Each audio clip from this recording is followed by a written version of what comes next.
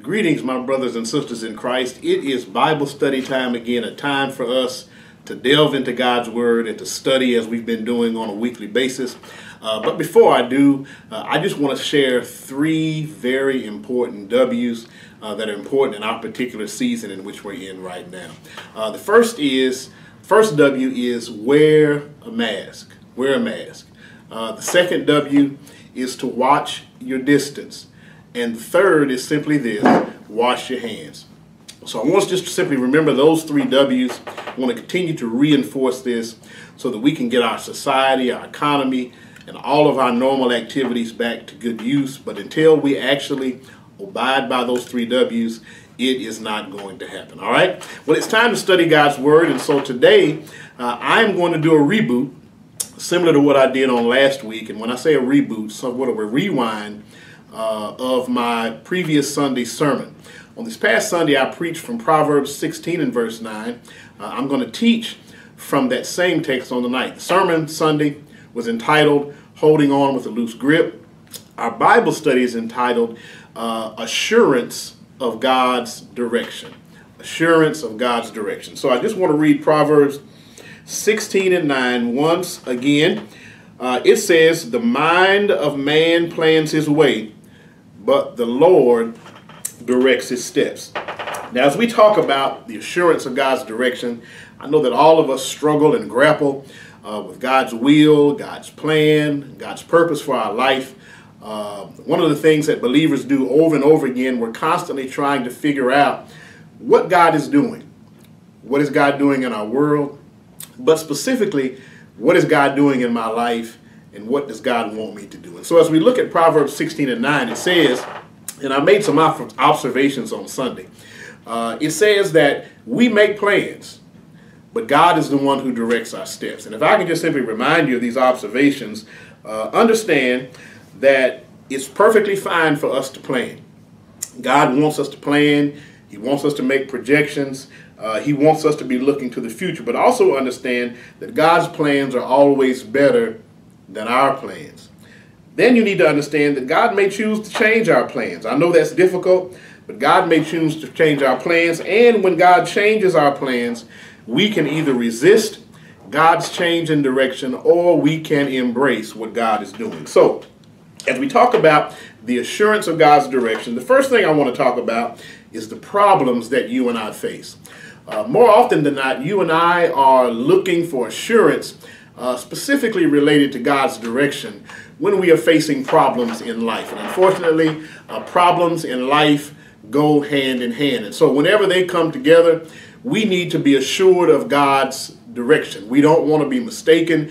We don't want to go left when God wants us to go right. Problems we face, the Bible deals with over and over again. Proverbs 14 and 12 says, There is a way that seems right to us, but the end thereof is destruction. Jeremiah, the prophet, says or states our inability to direct our own life apart from the direction of God. In Jeremiah chapter 10 and verse 23, he says, Lord, we know that people do not control their own destiny. It is not their power to determine what happens to them. And then also, uh, Isaiah the prophet tells us in Isaiah 55, verse 8 and 9, Indeed, my plans, he says, are not like your plans, God says. My thoughts are not like your thoughts. Just as the sky is higher than the earth, so are my plans and my works superior to your plans and to your works. And so as we face problems in life, understand that as we face them, we're supposed to plan, we're supposed to work on them, but ultimately we are supposed to seek God's direction with the problems that you and I face in life. And so, beyond the problems that we face, understand there's a promise that God gives. Listen, wherever there's a problem, there's always a promise from God. And what's important is we seek assurance of God's direction is that when we face a problem, we've got to find a promise from God that can override the problem we're facing. So the promise God gives is this. The declaration of Scripture, the Word of God, uh, which you and I are studying on a weekly basis, is that God cares about each of us. And because God cares about each of us, it also means that God cares about our problems. So much so that God providentially, with his omniscience and his knowledge that is superior to ours, God has already made provision. God has already given a promise for every problem, every dilemma that you and I will face in life. His plans are superior to our plans in every detail, in every intricate aspect of his promise. His promises and his plans are greater than ours. Why is that? Listen, whenever we are looking for someone to give us expert advice, uh, someone to help us to deal with our dilemmas, whether they be government leaders, pastors, uh, counselors, healthcare professionals, uh, legal professionals, our assumption is that those individuals have more knowledge and more data as it relates to the situation than we do. Well, guess what? God has more knowledge than we do, and He obviously has more data than we do because His data is both past, present, and future. Uh, so much so that we need to understand that God has all power and all sovereignty to deal with our issues and our problems. Listen, God has all of the information. He has more data uh, about what's going on in our life than anyone else ever has or ever will. Uh, our responsibility as it relates to God's direction is for us to entrust our way and our plans to God's direction and God's leading. I love the book of Proverbs. Uh, it's a book of wisdom. Uh, wisdom, we know, first of all, is uh, a fear of the Lord and it's the beginning of knowledge. Uh, as it relates to God's direction, Proverbs over and over again is reminding us uh, of our plans and God's plans being much greater. Proverbs 3, 5, and 6 is a life verse for so many, which says, Trust in the Lord with all thy heart. Lean not to thine own understanding, in all thy ways acknowledge him. And what does it say? He will direct your path. But then, as I've read Proverbs chapter 16 and verse 9, you can just back up in Proverbs chapter 16 uh, you'll notice in verse 1, it says, The plans of the heart belong to man, but the answer of the tongue is from the Lord. And then move down to verse 3. It said, Commit your works to the Lord, and your plans will be established. Now, what that means in verse 3 is we make our plans, but once we make our plans, we need to commit them to God before we act on our plans so that they can be established. What we do more often than not is that we make our plans, we make our plans and we work our plans before we submit them to God. And then when they don't work out, then we want to come back to God and say, God, you got to fix this. God, you have to work it out. But before we start working on our plan and before we start implementing our plan, we need to commit those plans to God in prayer uh, before we proceed. All right? So we talked about the problems we face, talk about the promises that God gives, but then also we need to deal with the principles that we must apply in order to know God's direction. And those principles are twofold. They are devotion and desire. Devotion and desire are two principles that we need to keep in mind and must apply as we are seeking to be assured of God's direction. The essential foundation for both discovering and doing God's will or the will of God are devotion to God and the desire to do His will. Uh, Psalm 25 and verse 12 says, The Lord shows his faithful followers the way they should live.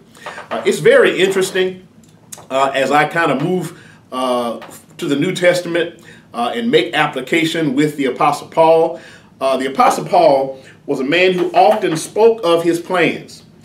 He had plans to visit certain churches, and he would often uh, write to God or he wrote that God wanted him to achieve these specific plans. But scripture shows that although Paul had made a number of plans about visiting many churches and he had some good travel plans, his itinerary was set, his plans were not always accomplished. The fact that his plans were not always accomplished had nothing to do with the fact that they weren't good plans, really had nothing to do with the fact that they were not the original plans that God had given Paul. But the Lord was the one who was directing his path. For instance, in Acts chapter 16, verses 6 through 10, uh, Paul had a desire uh, to go to a certain place. But in that dream, he received what was called the Macedonian call, where the Spirit of God spoke to him and hindered Paul from going the direction that he originally planned and sent Paul in another direction. Paul at that moment had the opportunity to either resist or to embrace. Paul chose to embrace God's plans and go in a different direction. He, he had to forego his pre developed plans and go instead to Macedonia. Now, his plans were worthy, uh, they were worthwhile. They weren't bad plans, but God changed his plans and he embraced them. On another occasion, this same Apostle Paul in Acts chapter 27, which I also preached from a couple, two or three weeks ago, and then connected to Romans chapter 1, Paul had a sincere desire to go to Rome and preach.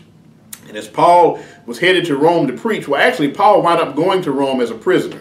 Uh, he was a prisoner uh, in trouble for preaching the gospel over and over again, defying the government edict not to preach, not to proclaim the name of Christ. And he wind up going to Rome and God fulfilling his desire to go to Rome as a prisoner. On his way, we know in Acts 27, the ship uh, met some devastating storms, one after another, to the point that they wind up uh, being shipwrecked. But we notice at the end of that, that Paul and the other persons or passengers who were on the ship when the ship broke up, they were able to either swim to shore or some made it on broken pieces. But ultimately, as we get to Romans chapter 1, we need to understand that Paul made it to Rome uh, in order to preach the gospel. So, two different things. Sometimes we have a good plan, God changes the plan. Other times we have a good plan, but even though our good plan is met with obstacles, God still intends for us to keep going in the direction that God has set for us. As we deal with Proverbs 16 and 9, and then even as I've illustrated from the life of Paul, sometimes the Word of God can be very difficult to swallow. The Bible is clear that God is supremely sovereign and in control of all things. He knows everything before it happens. He, he, he knows or declares the end from the beginning. It says in Isaiah 46 and verse 10. Nothing surprises God. Things may surprise us, but it's very difficult for us to understand and accept the reality and live under the challenge of walking by faith, even though we know that God is in control. It makes us uncomfortable, really, because we know that we have a free will and we try to balance that with God being sovereign. Ultimately, as we deal with Proverbs 16 and 9, it says we make plans that deals with our will, but then it also says that God directs our steps, which deals with his sovereignty. And it's often difficult to balance the idea of God being sovereign and our having free will. It's not saying that we are fatalist, that we are determinist. In other words, every situation is determined, so we let go and let God. It doesn't mean that. Um, it also doesn't mean that we are robots, that God simply makes us move in the way that He wants. So we have to find, when it comes to the assurance of God's will, how is it that God's sovereignty and our free will as human beings works together? So we need to understand that God will often infringe on our choices. We do have free will, but then again, we really don't. In other words, we have free will, but our free will is not absolute, it's not perfect. Here's why there are two biblical reasons why our free will is not absolute. First is it is it is constrained by our, our nature. I, know that we're all about self-improvement and being the best version of ourselves that we can. But unfortunately, when sin entered the world in Genesis chapter 3, we became sinful human beings. And by nature, we have free will, we have the mental faculty and the mental capacity to make choices. But without God's leading, those choices more often than not are going to be outside of the will of God. So our free will and our decision making are constrained by our nature. But then we also need to understand that God can and does override our ability to choose and our ability to make choices when he sees something better for us. Again, Proverbs 16 and 1 we make, we make plans, but God's will determines if they will succeed or not. It's not our ingenuity. Proverbs 16 and 3. This really should cause us to be dependent upon God. And that's really what God wants. Out of his love and out of his care, he wants us to be dependent on him. Uh, it does not diminish our planning, but it does elevate God's role in the outcome. We plant, we water, but God gives the increase. And so we need to live in peace, recognizing that God is in control. Realizing that God is in control is not meant to scare us or to make us uncomfortable, but it's meant to help us to sleep at night. It is meant to really be a soft pillow at night. When we understand that God is sovereign, uh, it, it is that soft pillow at night that lets us rest and know that God is in control. There is a difference between what we actually plan and what actually happens, and we see that over and over again in life.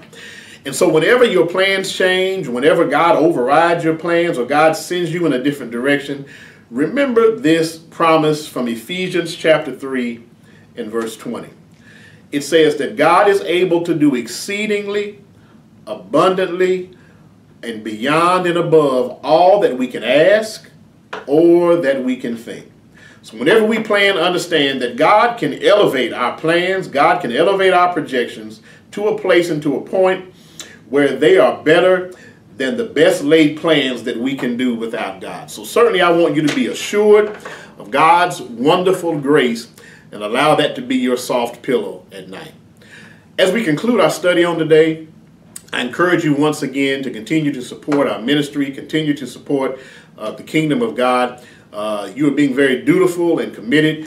We, we post reminders on our Bible study and on our Sunday morning services. You can give through our website uh, electronically, or you can send it to our post office box. But most of all, I want to thank you for being a very faithful viewer. You are viewing our Sunday morning services virtually.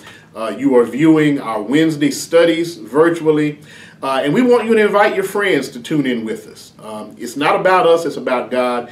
So if this word is blessing you, if our Sunday morning worship is blessing you, share that with others. Invite others to tune in and watch uh, along with you virtually. Uh, and we'll just pray uh, that God would bless us uh, as we worship Him in this new and vital way. Uh, allow me to pray, and then I look forward to seeing you on Sunday and also seeing you on next week. God in heaven, uh, your word is a lamp unto our feet and a light unto our path. God, we thank you for the assurance that comes from knowing your word and from knowing your will. God, we know as we seek assurance of your direction, we know, God, you'll help us to deal with the problems we face, face by helping us to know the promises that you give and also the principles of devotion and desire that are needed in order to ascertain your will. We thank you, God, that everything in your word was written before, that through knowledge and learning and instruction, we might have hope, we might have faith, we might have assurance. Father, we pray that your word would be planted on fertile soil, that it might bless those who have listened. In Jesus' wonderful and mighty name we pray. Amen. And we'll see you next time.